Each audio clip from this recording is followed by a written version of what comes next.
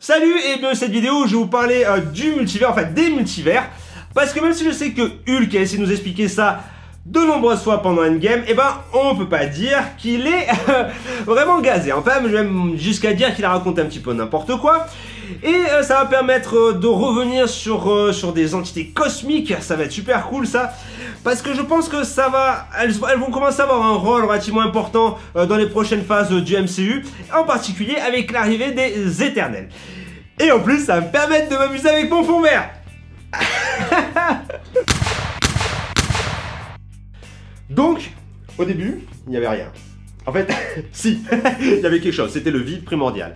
Et euh, c'est là où ça va commencer à être un petit peu space, c'est que euh, dans le, chez Marvel, c'est pas encore apparu dans le MCU, mais chez Marvel, eh euh, il y a ce qu'on appelle les entités abstraites. Alors c'est quoi les entités abstraites? Eh bien, c'est par exemple des idées comme euh, l'univers ou la mort ou en l'occurrence le, vide primordial, et eh ben ils peuvent prendre corps. Voilà. Euh, donc vous pouvez vous balader dans la rue et puis vous rencontrez euh, le vide primordial. salut, ça va alors? Qu'est-ce que tu fais? Bah rien. Je me fais un petit peu chier, tu vois, parce que bah le vide c'est vide. Hein.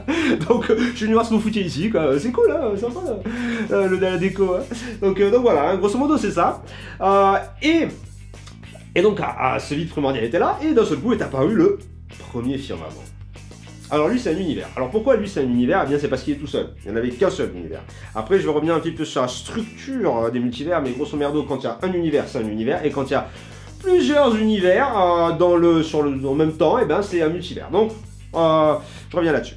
Donc ce premier affirmement, il était là, il était content, et euh, c'était le premier univers. Et en fait, bon, évidemment, il a commencé à se personnifier, hein, c'est-à-dire qu'il a pris corps lui aussi, et puis en fait, il a dit putain, je me fais chier.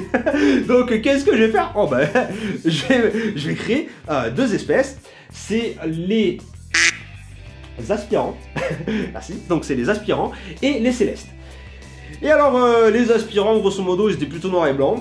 Ne me demandez pas pourquoi, mais c'est comme ça. Alors que les, euh, les, célestes étaient euh, colorés. Voilà, donc ils étaient tout, ils étaient en couleur, les célestes. Sauf qu'ils y avait quand même une grosse différence entre les deux, c'est que les, aspirants étaient un petit peu les lèche-bots du premier firmament. Et à chaque fois qu'ils créaient une forme de vie, un truc comme ça, ils allaient voir Hé papa, t'as vu, t'as vu, j'ai créé une forme de vie, on peut la laisser vivre ou tu veux coller et, et, donc voilà, quoi, à chaque fois ils demandaient l'autorisation du premier firmament alors que les célestes non quoi, les célestes c'était un petit peu les gros rebelles quoi, tu vois, c'est ah bah écoute voilà, euh, j'ai créé une vie, voilà j'ai créé une vie, euh, bah écoute on va on va laisser se démerder, hein. qu'est-ce qui peut euh, qu'est-ce qui peut foirer quand tu laisses une forme de vie évoluer toute seule, hein? As the bombs gone, attack by Donc ces petites différences ont commencé à créer des tensions et les célestes et les aspirants ont décidé de résoudre ça de la manière la plus logique qui soit, c'est-à-dire en se mettant sur la gueule. le résultat de ça, ça a été ce qu'on appelle la guerre des célestes, et qui a eu comme, euh, euh, effet simplement de détruire le premier, euh, le, premier firmament, le premier univers, voilà.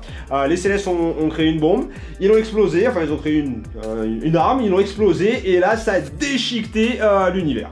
Rien que ça. Donc, euh, l'incarnation de ce premier univers, donc euh, le premier firmament, lui s'est barré euh, dans un coin qui s'appelle les, terres lointaines, Far Shore en, anglais. Donc, les terres, ouais, ça doit être les, terres lointaines, voilà quoi. Alors, c'est un truc un petit peu space à comprendre. C'est le point le plus loin de la vie et de la mort. Donc euh, c'est pas vraiment dans, le multivers, enfin j'ai pas trop pigé ce que c'était, mais bref quoi il était là. Et il a simplement attendu et regardé ce que les autres faisaient. Parce qu'évidemment, qu'est-ce qui s'est passé? C'est que bon, lui, il s'est retrouvé déchiqueté. Euh, enfin, et, en fait, de, son essence, de son essence est né euh, tout un tas d'univers. Voilà, c'était beau. Ça, ça, il y a tout un tas de petits univers qui sont nés et ça ça a créé le deuxième cosmos qui a été en fait le premier multivers. Parce qu'en fait, c'est un univers qui est composé de plusieurs autres univers. Donc voilà, c'est un multivers.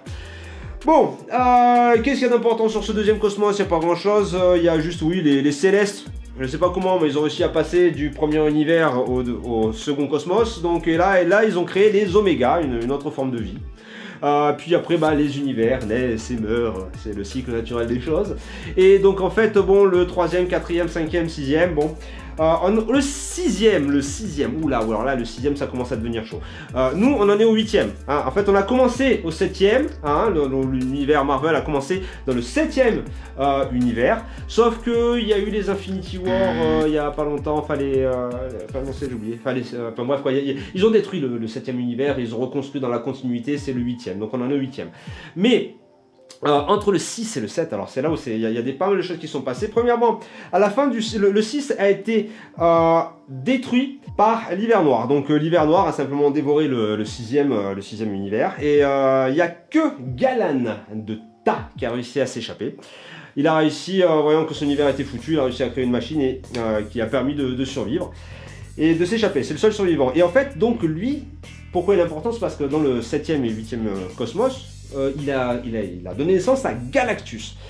Donc, et ça, putain, ça j'ai vraiment envie euh, j'espère que, que, Marvel va nous mettre là dans, le MCU parce que. Mais je veux dire, pas la version pourrave qu'ils nous ont sorti là sur les 4 Fantastiques il y a quelques années de ça, là c'était minable. Non, non, là je voudrais vraiment le, vrai Galactus quoi, parce que c'est un personnage qui est super complexe, enfin, ça, ça serait vraiment cool quoi. Donc, euh, donc voilà, donc lui il a, il a réussi, mais entre le 6 et le 7 donc vous vous rappelez qu'on avait Oblivion, l'incarnation du vide primordial, eh bien euh, celui-là il a eu un fils, donc voilà, qui s'appelle Knul. Alors Knul, si vous avez vu ma vidéo sur Venom, eh ben, vous savez que c'est le papa des symbiotes. Et eh oui donc, euh, donc voilà, euh, je vous laisse regarder Venom, la, la, vidéo sur Venom. Donc pour l'histoire euh, des multivers, c'était ça. Maintenant on va parler un petit peu de la structure des multivers. Donc la structure des univers, des multivers. Alors, on va partir de la base.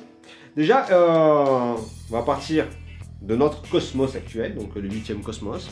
Donc il y a plusieurs univers qui existent en parallèle. Alors par exemple, eh bien, on a euh, l'univers du MCU qui euh, correspond à... Alors il s'appelle Terre, hein. leur nom tout ça commence toujours par Terre et un numéro. Donc euh, l'univers du MCU, bah, c'est la Terre 199 999. La, la, nôtre, là où on est aujourd'hui, eh bien ça c'est la Terre 1218, 1218. Et puis après l'univers des comics, eh bien, en fait c'est l'univers ah, c'est la Terre 616, voilà, la, principale, hein, parce qu'il y a, d'autres terres aussi. Mais euh, grosso modo, donc voilà, donc, en fait, ces univers, ils habitent un petit peu ensemble, hein, euh, et, en fait, ils forment ce que l'on appelle le, euh, le multivers. Chaque univers, par contre, peut avoir des dimensions. Et oui, c'est-à-dire que, bah, par exemple, Asgard est dans une dimension. donc par exemple, on a la dimension d'Asgard pour notre univers, et puis sur la Terre 616, eh ben, il y a un Asgard qui, euh, qui, est dans, sa propre dimension. Et euh, par exemple, bah, sur le MCU, il y a aussi un Asgard qui est dans sa propre dimension. Donc en fait, une dimension, ça serait un petit peu un sous-univers. Donc voilà, on a le multivers, les univers et les dimensions. Ok? Évidemment, ces, multivers, euh, alors, ils font partie de ce qu'on appelle un omnivers. Alors, c'est quoi un omnivers? Eh bien, par exemple, euh, évidemment, l'omnivers s'englobe tous les multivers. Par exemple, on a le, multivers euh, Marvel, hein. on a le multivers DC, on a le multivers de chez Image, on a le multivers de chez Dark Horse, enfin, euh, on a le multivers par exemple de, Stephen King, si vous voulez, enfin bref, tout ça, voilà, ça, c'est tous, ces univers, et bien en fait, ils sont à l'intérieur de l'omnivers. et alors après, euh, il y a aussi un petit peu des, coins qui sont un petit peu bizarres. Donc euh, comme je vous disais, il y a euh, deux endroits que j'ai pas spécialement compris, c'est la terre de, comment s'appelle de, le Far Shore, là, les, terres lointaines. Et après, on a aussi euh, la terre de, ce qui peut, ce qui ne peut pas être. Donc, euh, ce qui de could shouldn't be. Donc, ce qui peut et ne devrait pas être. Donc, c'est un truc un petit peu bizarre. C'est hors de, du multivers et c'est aussi hors du vide. Enfin, je sais pas, c'est peut-être un endroit qui est, c'est l'espace entre les entre les multivers dans, dans l'univers. Je sais pas, j'ai pas trop saisi aussi ça aussi. Mais voilà, faut savoir que ça existe. Je pense pas qu'ils vont aller là-dessus sur le, sur, le, sur, sur, le MCU. Et, euh, et, alors par contre, c'est là où ça devient intéressant, c'est que il y a quelque chose hors de l'omnivers Ouais Ouais Ouais, ouais. Et c'est là où on a ce qu'ils appellent, alors ils sont pas foulés pour le nom, c'est les Beyonders. c'est les mecs qui sont les autres, les, qui sont de... Comment on dit Comment ça se traduit en anglais Beyonders? Ouais, au-delà, au-delà, voilà. Donc euh, c'est des gars, euh, voilà, c'est les gars de l'au-delà. Ils sont pas vraiment foulés pour le nom. Voilà, bah écoutez, j'espère que cette vidéo vous a plu. Si c'est le cas, bah le petit pouce bleu, abonnez-vous au canal et à la prochaine